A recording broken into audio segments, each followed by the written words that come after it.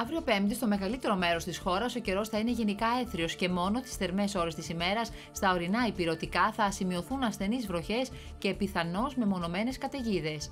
Οι άνεμοι στα δυτικά θα πνέουν μεταβλητή και παροδικά βορειοδυτική 3 με 5 μποφόρ. Στα ανατολικά θα πλέον βόρειοι και κατά περιοχές δυτική 3 με 7 μποφόρ.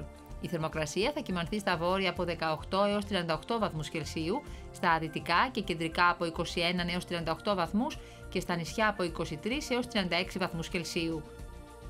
Στην Αττική αναμένεται γενικά καλός καιρός. Οι άνεμοι θα πνέουν βόρειοι 4 με 7 μποφόρ, ενώ η θερμοκρασία θα κυμανθεί από 25 έως 36 βαθμούς Κελσίου.